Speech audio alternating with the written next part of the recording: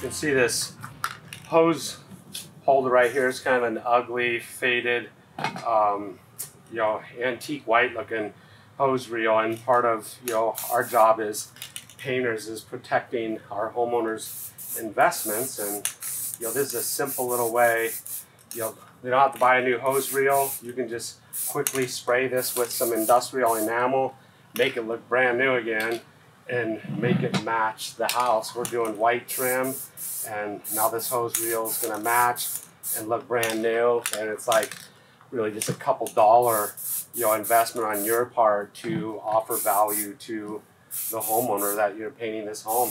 It's just a good customer service option also.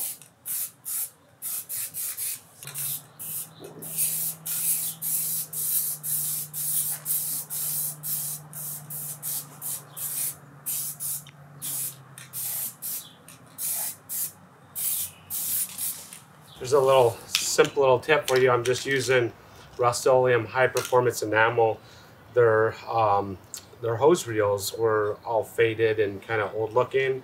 Simple little thing for a dollar or two, adding value to the home and um, customer service. Make the uh, hose reels look brand new again and actually match the trim on the house, which is going to be pure white.